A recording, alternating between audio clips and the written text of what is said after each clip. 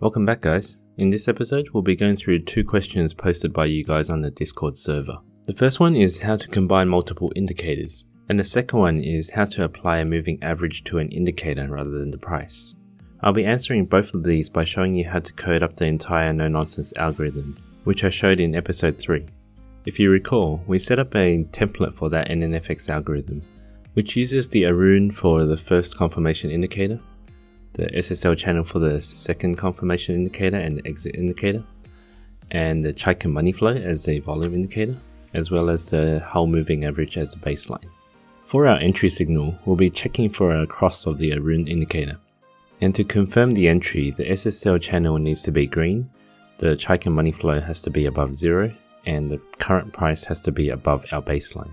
Let's dive in and you'll see how easily we can code this up. First I'm going to make a copy of the NNFX bot template from the Discord server and I'll rename it to NNFX.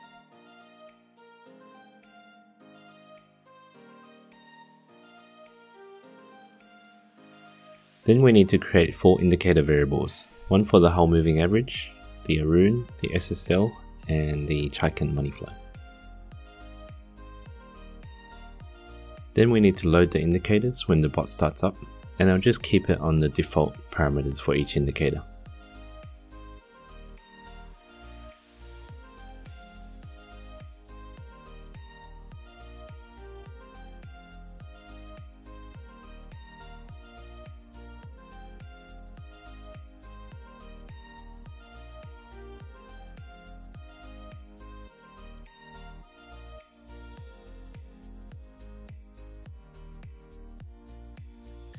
Next we need to create the variables to get the latest values of the indicators. For our C1 I'll be using the latest value for Aroon up minus Aroon down, which basically converts it from a 2 line cross to a 0 line cross indicator. Similarly for our C2 I'll be using SSL up minus SSL down. We also need to create a variable for the previous C1 to check when the Aroon crosses through the zero line. Let's also create a variable for the volume using the Chaikin money flow.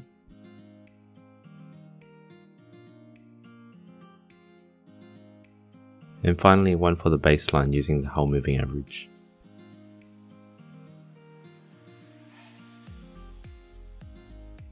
Now for the entry signal, we just need to check that the C1 is above 0, the previous C1 is below 0, our C2 is above 0, the volume is above zero, and the current bid price is above the baseline. If all of the conditions are met, then we'll open a buy trade, and vice versa for a short trade.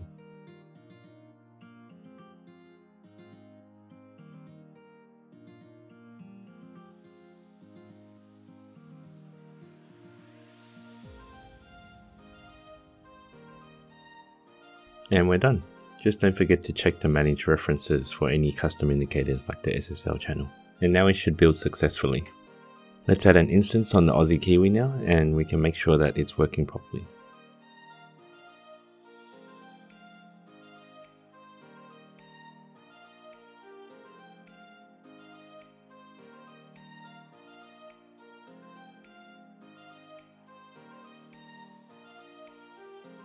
So here's our first entry signal.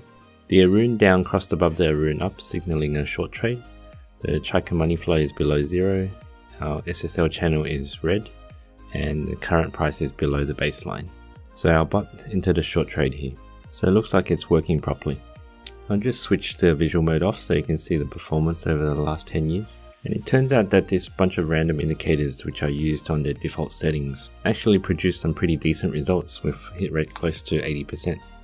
Let's go ahead and add the exit indicator now. And this one is super simple. If our C2, which is our SSL channel, is above zero, then we'll just close any short trades.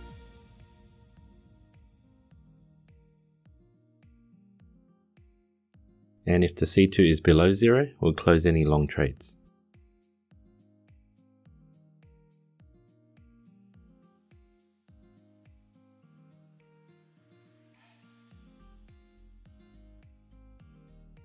And it looks like that gives us a slight improvement on our performance.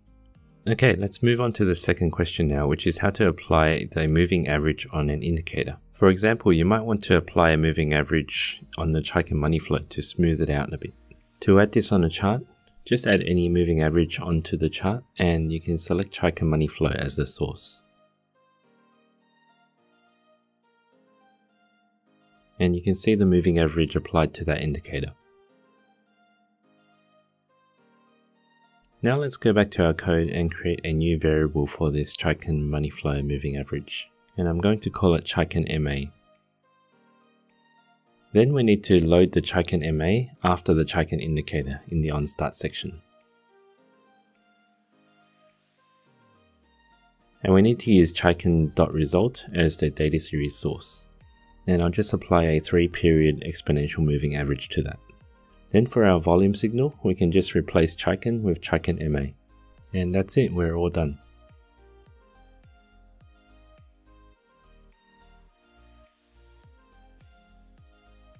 And looks like that also gave us a slight improvement in the performance. If you found this helpful, please like the video and leave a comment below if you have any questions.